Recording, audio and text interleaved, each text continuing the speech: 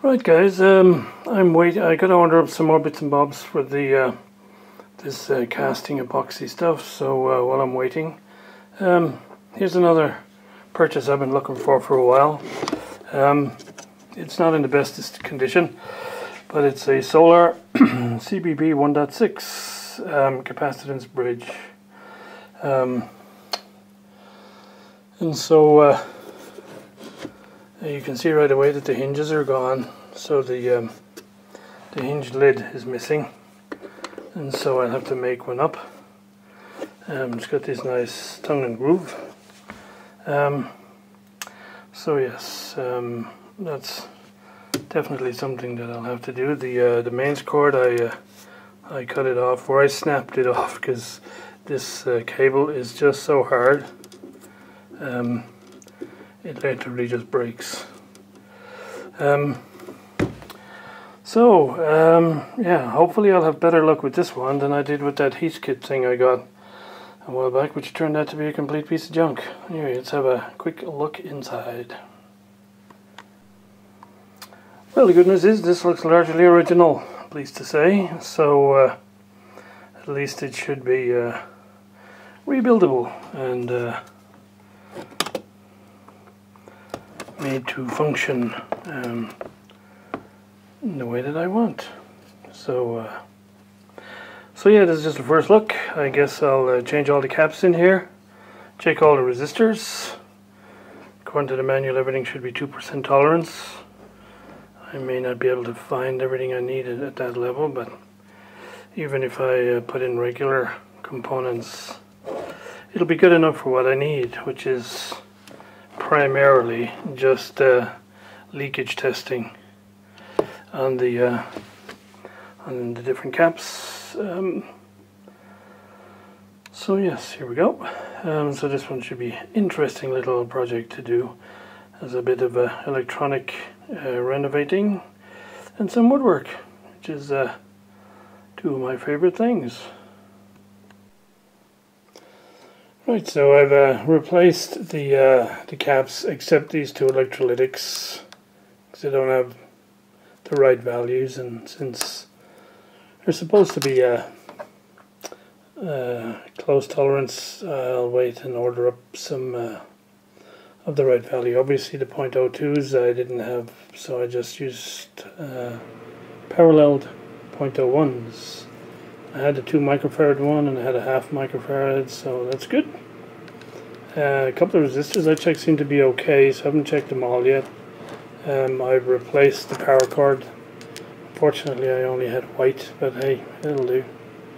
Um, and I replaced the uh, on-off switch because the uh, the chrome coating and everything and that is all ruined or the, whatever the coating is. And so uh, I had a couple spare and uh, so I put a new one in and just generally give it a bit of a tidy up and so I think that'll do until the electrolytics arrive.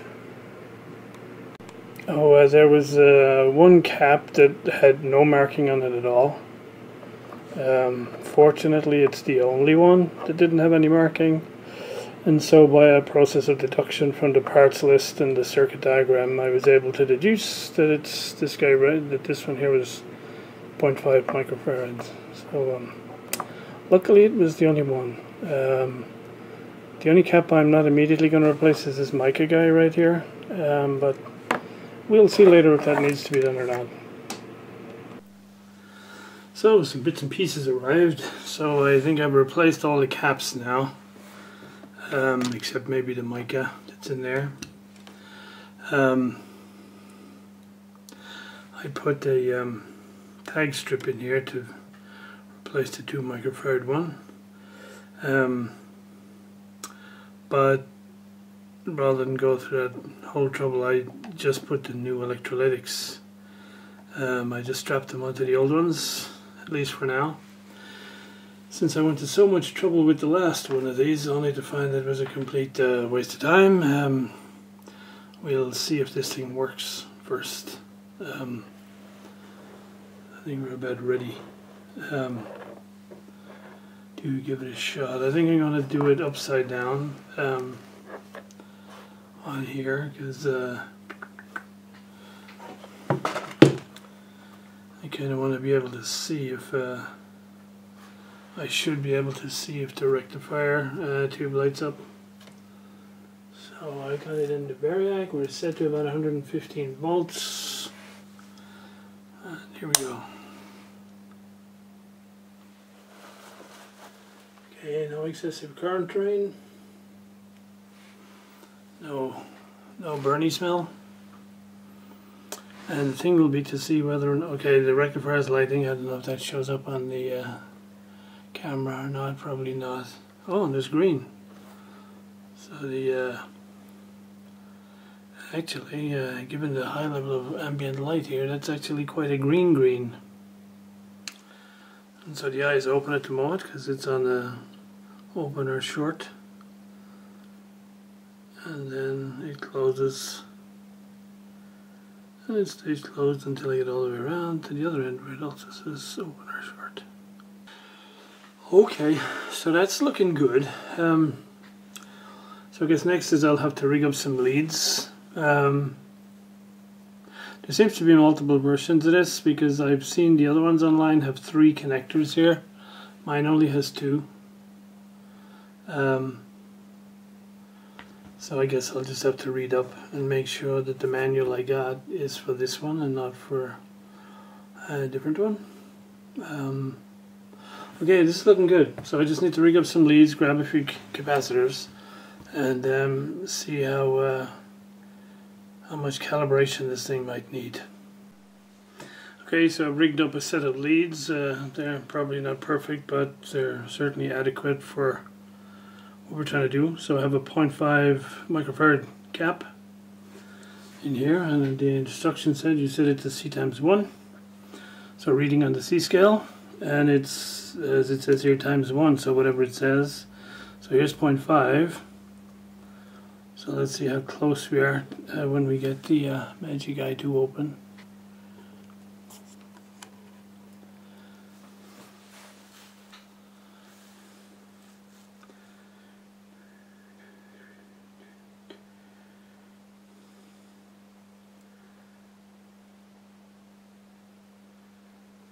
We go. Hey, that's real close. That's almost spot on the 0.5 here. I think you guys can see that. Turn out the light, see if it makes any difference. Um, yes, here we're closed.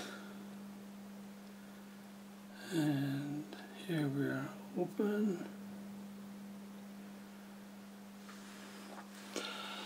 And reading off the scale, it's just about 0.5. So, uh, I'll check the other two scales obviously and uh, then I'll get on to the uh, the real reason I want to get one of these guys which is to uh, be able to do leakage tests. So we'll uh, get on to that uh, next. Okay all the ranges work pretty well um, so I tried all the different values of caps and I think we're correct. Um, checking the leakage uh, side of things the one thing that I find counterintuitive, according to uh, the manual, is the voltages go in, in the opposite sequence. So 5 is 100, 4 is 200 volts, 3 is 300, 2 is 400, and 1 is 500. So you got to start from 5 and work your way up to 1. Um, so this uh, cap here is the 0.5 that I took out of here. Um, and uh, so uh, on the uh, 100 volts we have nothing. Okay we start to have leakage on the 200 volt setting. It's getting a little bit less but it's still there I'm sure if I go to the 300 volt setting the thing will just be flashing away you probably can't see any of that on the camera. Um, but um, if I go to the next setting okay now it's going pretty regularly now. So yeah. So it looks like the um, leakage detector is working the little neon bulb is working because they're really hard to find so I was going to be in trouble if that wasn't working.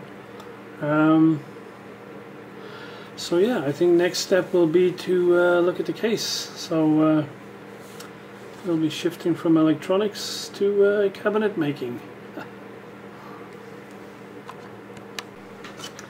So just having a quick look at the box to the piece that I do have. Um, it's basically sound. and the joints, I think, are coming apart. Um, it's got replacement feet, and I think they're hard as a rock, so we'll get proper rubber ones to go on there. Um, yeah, the uh, the joint has come apart here, I think. I think it might have been re-glued here on top. Um, it certainly has movement here so we'll see about fixing that up. Um, I think somewhere in the manual it gives the total outside dimensions for the for the instrument so I should be able to um, take those and add so I know what what depth to make the top. And um, yeah, probably the only challenge will be getting wood exactly this thickness because I'm sure this is an imperial thickness and uh, I won't be able to get that right off the shelf in this part of the world. Yeah, this, this side here is moving as well so this is not uh, glued up but I think we should be able to uh, take care of all of that. There's no uh, cracks or serious damage other than to the surface. So yeah, we'll uh, stabilize this guy with some glue and stuff and uh, then we'll get on to making a lid for it. So this uh, corner down here had completely come undone. So I've glued that up and clamped it up and we'll uh, let that set before we go any further. Okay, so the um, the base, the box itself is basically stable at this point. Um, there seems to be a cutout here which is not original, so I'm not quite sure what that was put there for. Doesn't show on any of the uh, photos I have of the device. Okay, so um, luckily the manual gives the dimensions of the box and it took me a while to figure out how they're oriented but it seems like uh, they do it with the uh, carry handle on the top here uh, which of course means in reality the instrument is kind of upside down like this, but anyway. Um, so the width is nine and a half inches, which seems correct. This they're calling the height, which according to the book is seven and a half. Mine measures seven and a quarter. And then this would be the depth, which they say is six and a quarter. Mine actually measures just under four and a half to here, so I assume it's about an inch and three quarter deep lid that goes on the top. So at least I know the uh, sizing of this of the lid. Um, and just to keep us keep me on my toes here, this thing is quarter inch except the back. This back piece is 3 eighths, which you can see here because uh, with the uh, the box jointing on here, everything is nice and square. Down at the bottom, they're rectangles. Um, so I assume this is um, cherry as wood. So I'll have to see what I can find because cherry is not really native to my part of the world. So I'll have to see if I can find something suitable locally. If not, then we'll have to maybe look at uh, seeing if I can order some online. Um, which hopefully will work if I need it. Um, I guess as any of you guys uh, doing woodwork know, um, rules on exporting and importing wood have tightened up significantly in recent years. Um, but let's hope cherry is not one of the, those endangered or protected species that uh, has all those controls on it. I mean, I know it from guitar work there are, um, but then there are mostly things like rosewood and mahogany, which tend to be increasingly rare. Okay, um, so I'm going to clean it up. It has a very light coat of varnish on it, nothing particular. I mean, when I just started rubbing to clean the top surface, uh, it started to come off. So, clean all that up. Um, yeah, we'll get stuck in.